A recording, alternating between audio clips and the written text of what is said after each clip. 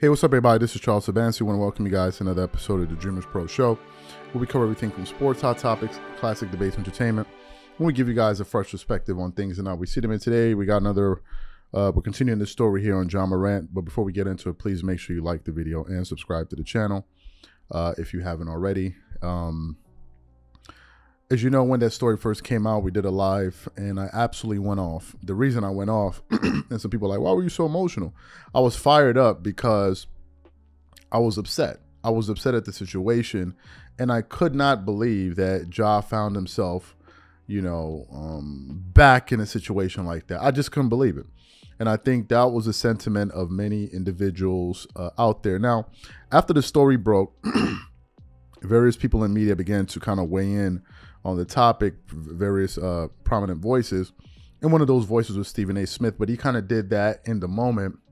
But I had a hunch that when he had an opportunity to go on his own show, where he could just sit down and talk about it for maybe 30 minutes, 45 minutes, an hour, he would really be able to tear into the, you know, tear into that story and kind of give his take on that. And that's exactly what happened. Um, because today I was listening to a bit of his yeah, excuse me. I was listening to a bit of his show today, um, the Stephen A. Smith uh, podcast, um, it was, it was, and it was a pretty, pretty uh, interesting segment there. Yeah, Stephen A. Smith, No Mercy, excuse me, that's the name of the show, the the podcast, and he dedicated essentially an entire show to the Ja Morant um, story.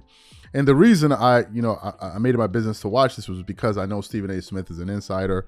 Obviously, he's he's been around the NBA for let's say two plus close to three decades now he has a lot of relationships. He knows a lot of per- people. He's broken a lot of stories. I believe he even broke the story uh, of the time when lebron james ultimately made his decision to go play uh, for the miami heat. So as i was listening to it it got to a part where he began to basically give some pertinent information to the Ja Morant uh, situation where he basically sent Ja Morant a serious warning um, of the potential punishment uh, that that most likely is coming his way. And I thought that what he gave was a very detailed kind of uh, outline of some of the things we may expect Ja Morant may be facing from the league. So what I want to do, what we want to do is we want to play his comments for you now. We want you guys to take a listen to it in its entirety, and then we're going to come back and react to what Stephen A. Smith had to say. So take a listen to that there. I don't want to hear anything at this point about his daddy. I don't want to hear anything at this point about his friends. I don't want to hear anything about this point about the Memphis Grizzlies or any kind of enablers or whatever. You're 23 years old. If you committed a crime and harmed somebody, they try your ass as an adult. This is what it is. Stop making excuses. Everybody want to sit out there, and this is how we enable people because we want to sit up there and say, "You got folks on out there, Ja, do your thing, do your thing, bro, live your life." Really? Really? Where that gonna get him? Where's that gonna get him? What kind of advice is that to give? It's counterproductive and it's stupid. And not only might it cost him his career, if he keeps on this path, it might cost him his life. You see, some of us are from the streets. We don't look it, we don't act it, we didn't get in trouble and all of this other stuff. But we from that cloth. We know people. I know plenty of dudes that are dead. I know plenty of dudes that's serving time. I know plenty of dudes who've murdered, who've robbed, who dealt drugs. You don't hear me speaking too much against that stuff because they saved my life. They played the role just as much as my family did, they did, because they kept me off the streets, because they knew I wasn't about that life.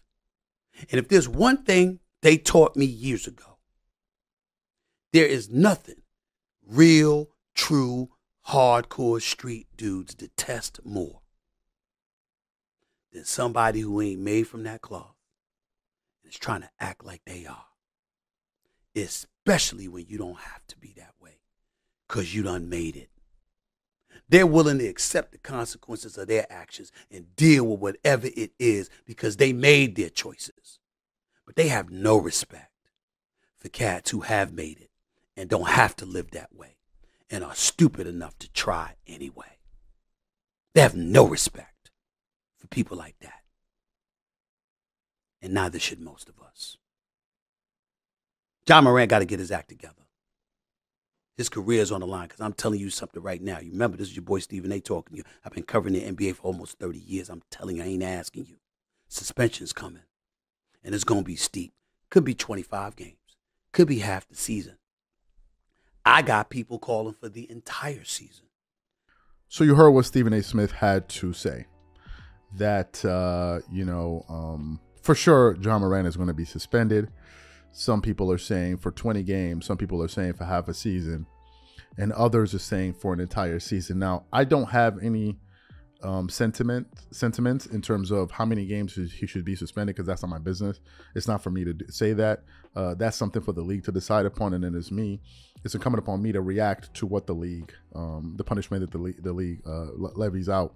But it's not my position to say, hey, I think he should because it's not my place. Why would my opinion on something like that even matter? And why would I put my opinion out there? Now, some people may do it, and that, that's their prerogative. I'm just saying that that's not something that I want to do.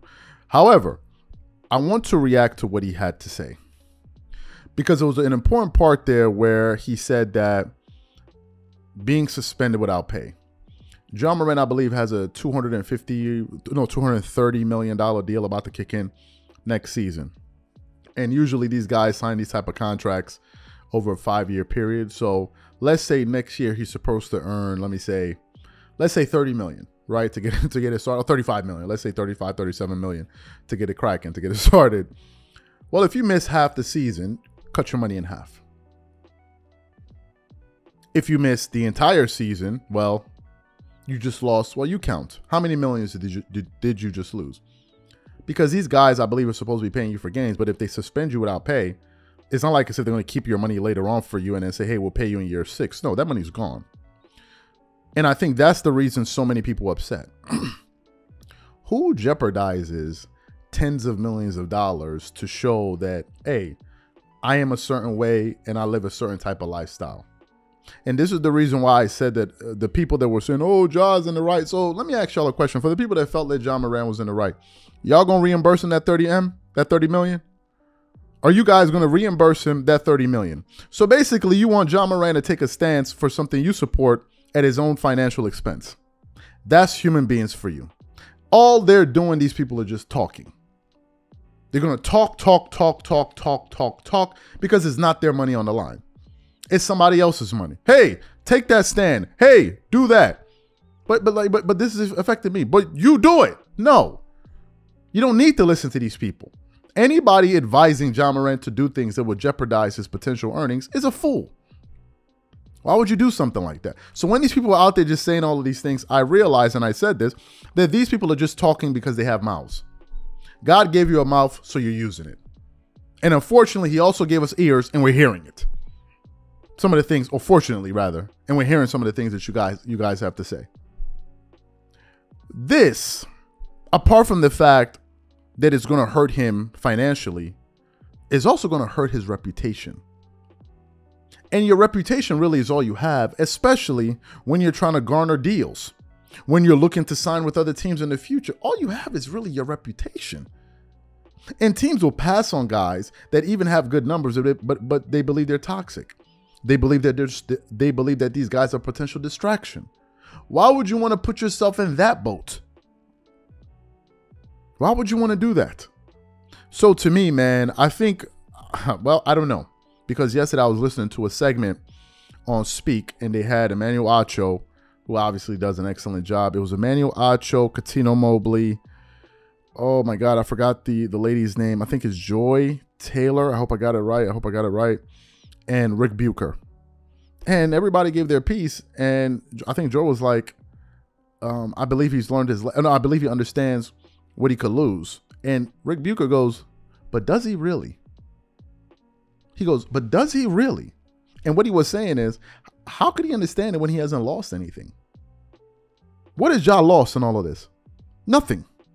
He got a slap on the wrist by the NBA and his team, and he was right back to business as usual. So what has he lost? Ja needs to be very careful. Now, Ja doesn't have to take my opinion. Have to take me. He don't know me from a from from a, a, a bag of bricks, or whatever, a bucket of uh, water. But this is serious business now. This is career altering business. And I think it needs to be taken very seriously. So, what I want to know from you guys is what do you think about Stephen A. Smith's report? What do you think about some of the things I had to say? Whatever you guys think, leave your thoughts in the comment section. We catch you on the next show. Peace.